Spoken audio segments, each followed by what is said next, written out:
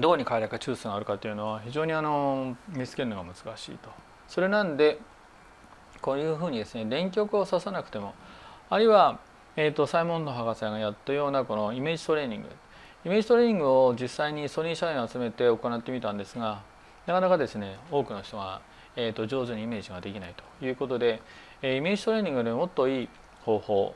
えー、直接頭に電極を刺すよりもっといい方法はないだろうかっていうんでさまざまなえ方法をですね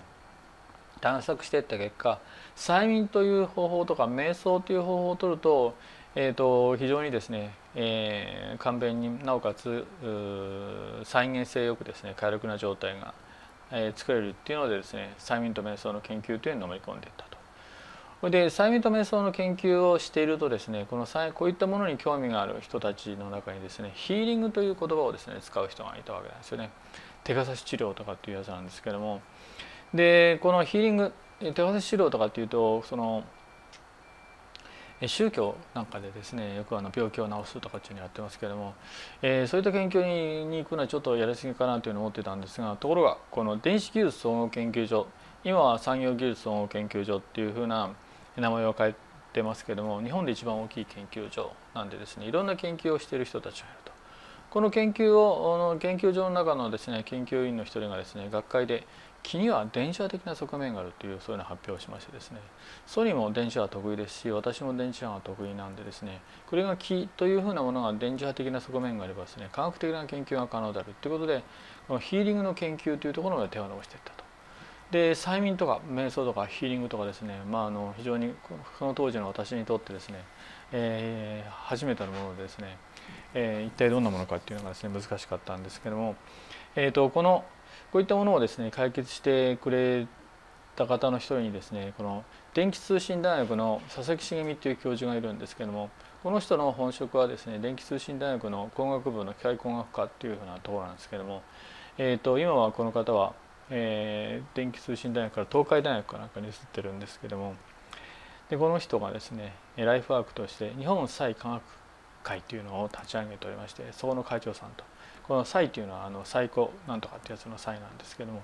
要するにですねあの超能力の研究とか気の研究とかこういったことをですねやってる方でこれ日本で非常に有名な方なんですけども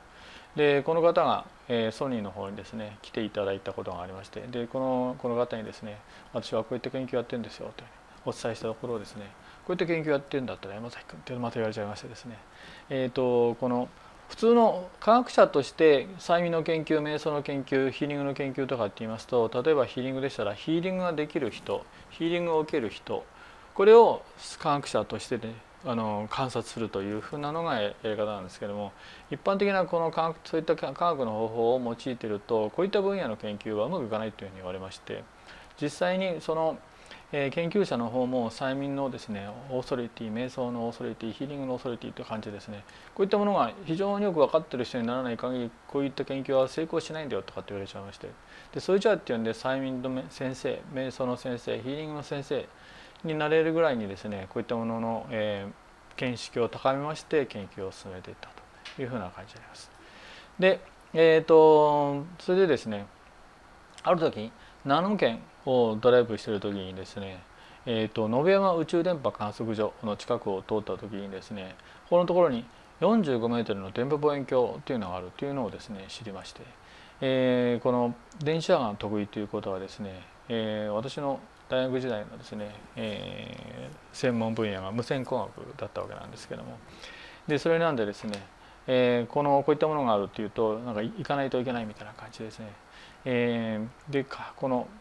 延山の宇宙電波観測所にですね行ってみたところそこのところにものすごく刺激的なですね、えー、のがありましてこの宇宙電波観測所45メートルの電波望遠鏡ってこれは何かっていうとですねここからここまでが45メートルある。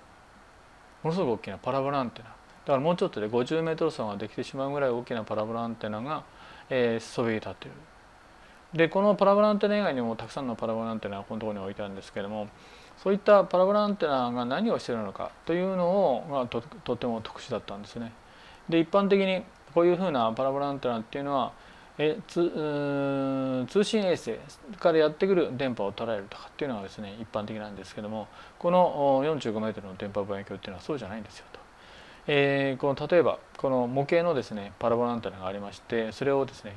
こんな感じで太陽に向けてくださいって書いてありましてで太陽に向けてみるとどうなるのかなと思ってやってみるとですねこのこのところにその、えーと、電波がやってくるとメーターが触れるようになってるわけなんですけどもメーターが触れるとだ太陽から電波がやってきてでそのその電波をこれこれが捉えてるんですよと。ででこの 45m の電波望遠鏡は太陽とかっていうのの今我々のすぐ近くにある太陽じゃなくてですね宇宙に散らばっているさまざまな天体それを観測するというふうなことをやってるわけなんですよね。で、えー、とこのように太陽からの電波がやってきてますよっていうような感じでですねここに書いてあるだけだったらその後うんって感じで終わってしまったんですけども今度はですね人に向けてくださいって書いてあるんですね。で人に向けてみるとどうなのかなって向けてみるとですねまたメーターが触れると。ということは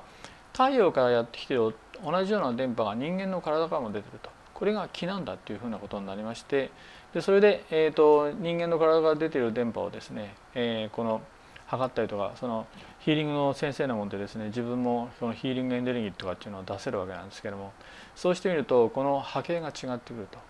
でさまざまな波形を含んだ電波を出すのがですねスマホ等に使われておりますスペクトラム拡散通信方式っていう通信方式で実は私がですね大学時代に研究していた通信方式がこのスペクトラム拡散通信方式という通信方式でじゃあこういった感じの電波の出し方が分かると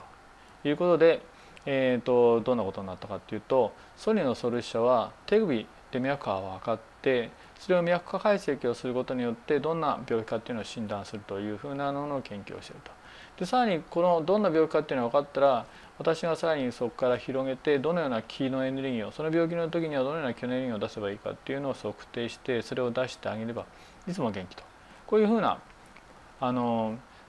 リブカマサルシは自動診断装置だったんですけれどもそれに、ね、加えて自動治療っていうのも入れてしまおうというこういったコンセプトのですね研究になったと。それで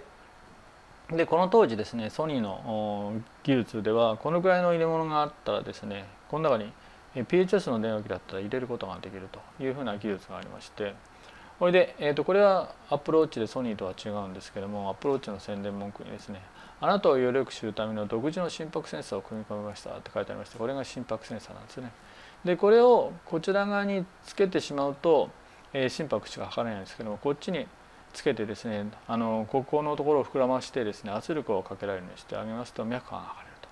でこの中の、え、CPU だと非力なんで脈波解析はできないんでこの波形を中央のコンピューターに送って戻してですねどんな電波を出せばいいかというんでここからまた電波を出してあげればこのこういったものをはめていればですねこのいつでも元気というふうなものができてしまうというふうな研究にですねどんどん進展していったわけなんですよね。っていうふうなことで催眠や瞑想っていうふうなものがですねこういったところにですね役に立ってくるっていうのはあの意味にも思ってなかったわけなんですが